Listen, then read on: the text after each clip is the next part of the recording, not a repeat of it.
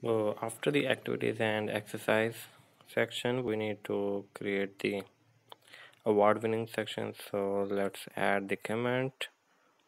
So award winning and uh, after this we need to create a div and give it a class is equal to my-5 and padding along y-axis 5 then style is equal to background f2 f2 f4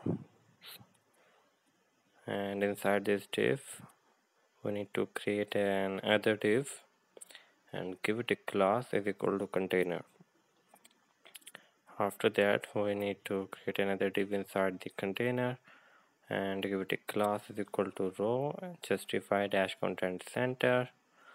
Then after this div we need to create another div and give it a class is equal to code dash md dash 12 so it's a 12 column div and inside this we have a heading. And give it a class font weight bold.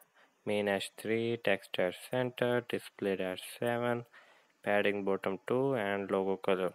So let me refresh the page. So it will look like this. And after the heading we need to create a paragraph p and give it a class is equal to margin bottom 4 and margin top 3 and padding along x-axis is 4 text dash center. Then we have a style color 1818 then we have a dummy text. So this is the 12 column div.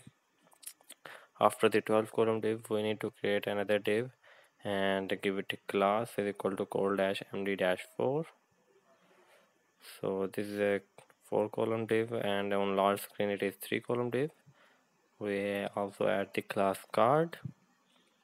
So we have heading and paragraph on the above 12 column div. And after that we have a 3 column div for the large screen devices. So give it a style background f2 f2 f4 border none. And then we have a width 180 pixel and margin auto. Then we have image. So we will uh, add three images. So let this is the image one. And after this div we need to create another div. And give it a class equal to col dash md dash 4 col dash lg dash 3 and we have style background then border none width 180 pixel margin auto then we have the our second picture which is asset slash images slash 2.png so this div end here and after this div we need to create another div and create the four column div for medium screen and three column div for the larger screen.